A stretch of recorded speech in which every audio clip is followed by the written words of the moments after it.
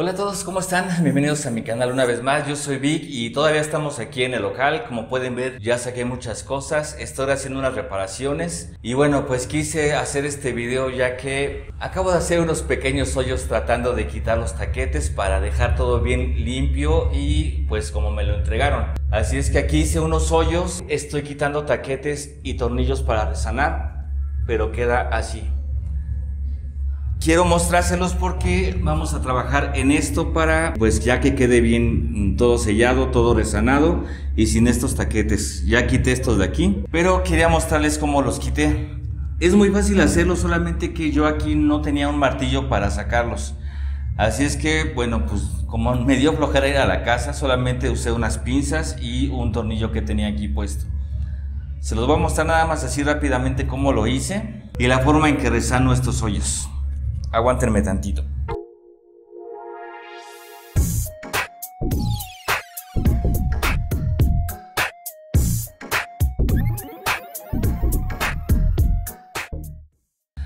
Aquí había varios taquetes porque tenía una televisión montada. Era un soporte y cada taquete tenía su tornillo, como este hasta adentro. Así es que como no tenía aquí martillo para poder sacarlos, lo que hice fue meterle un tornillo a cada taquete y luego con un trapo tomar unas pinzas y hacer la función del martillo como si fuera a sacar un clavo. Me costó un poco de trabajo porque son unas pinzas, el taquete es muy grueso, igual el tornillo es largo. Y cuando ya no podía lo volví a meter un poco más y hacía lo mismo. Ponía el trapo aquí, tomaba las pinzas y jalaba. Así hasta que salió todo el taquete y el tornillo. No nada más hacia un lado, sino buscando varios lados la forma de que pudiera salir hasta que lo obtuve. Esto mismo lo hice con todos, pero ahora lo que vamos a hacer va a ser resanar. Son unos hoyos muy profundos porque el taquete es largo y ancho. Tenía que soportar el peso de la pantalla. Así es que pues vamos a meterle pasta hasta adentro para que quede bien resanado y que no nada más quede por encima. Esto lo pueden rellenar con cemento, pero yo voy a usar ahorita este resanador de la marca Comex y no me está pagando, ¿eh? Ojalá, ojalá me pagaran, pero pues no. Es una pasta que ya está lista para usarse. Esta ya así como está, la pones directo en los orificios que quieras resanar en tu casa. Y para esto vamos a usar una espátula y otro tornillo. Vamos a checar que el tornillo, la cabeza del tornillo entre a los espacios, a los orificios, porque queremos meter pasta y rellenar hacia adentro. Así es que vamos a hacerlo así. Tomamos pasta,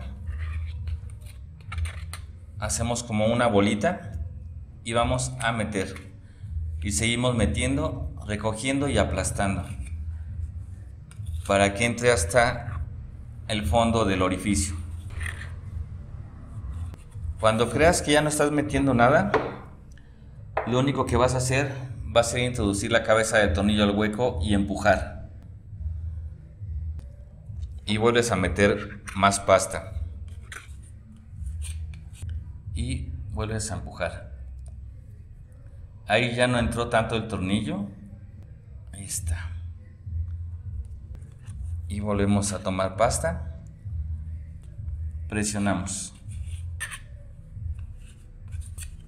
Y listo, ya quedó uno. Vamos con los de arriba.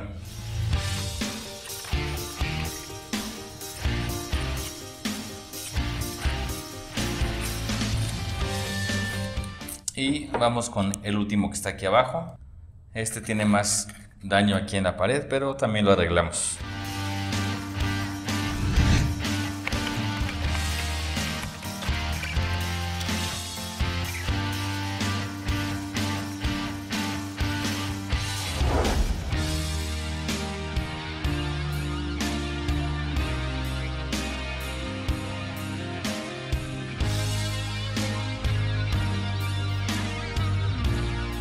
Y eso es todo. Así es como estoy resanando estos pequeños hoyitos que hice.